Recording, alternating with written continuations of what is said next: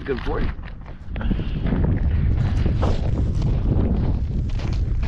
As you can probably hear in the video, it's windy and crunchy out. We got, I don't know, probably an inch and a half of ice or sleet, most people would call it. It wasn't freezing rain, thankfully.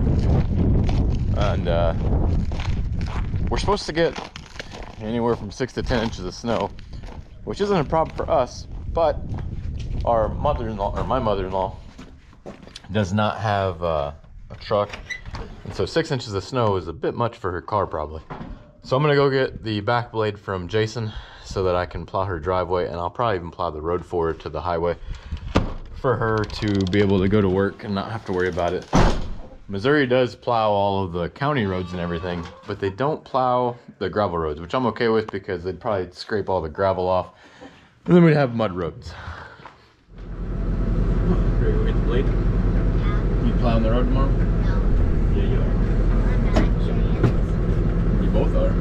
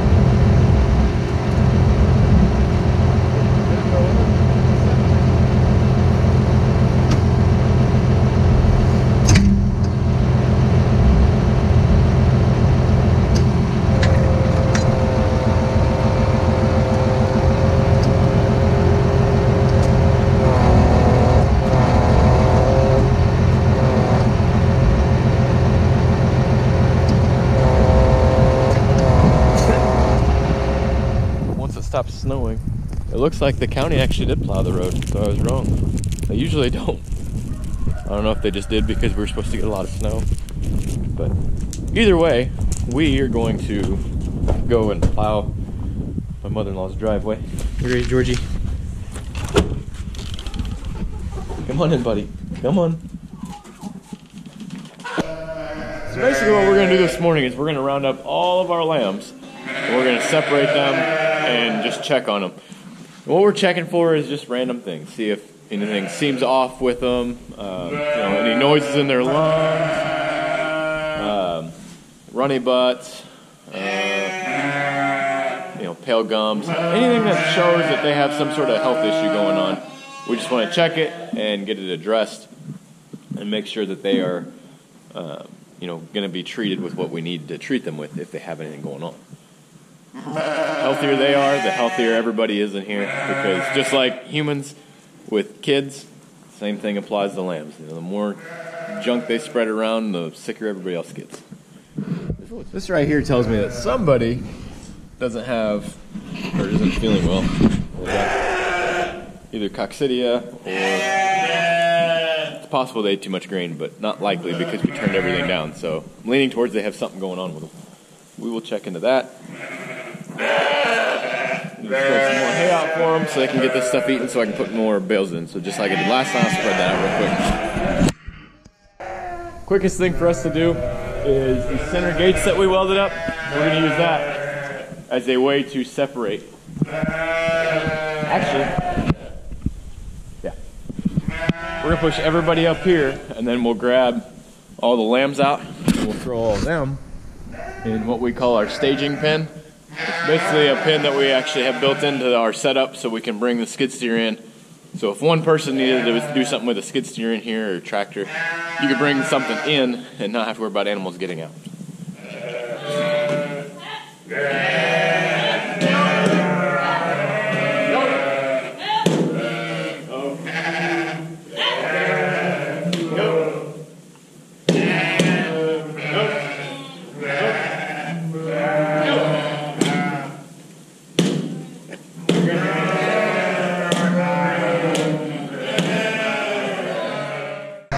Joy is by far the easiest one to catch because she's a bottle lamb.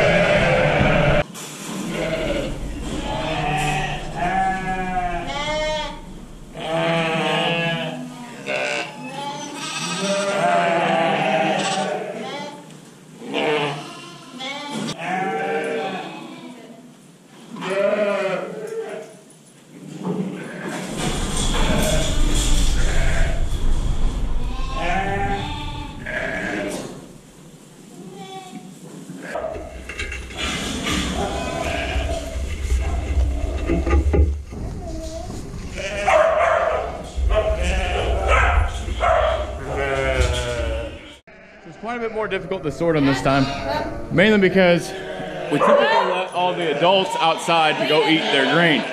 They're not getting grain today, right now, they're gonna get some later. Therefore, it makes it a lot more difficult for us to get them. The, the lambs, when they go out, they go out and run around, but they come back in really shortly after. Because they have this whole barn, I'm sure you've seen in videos previous, where they just run circles and run laps and have lamb races.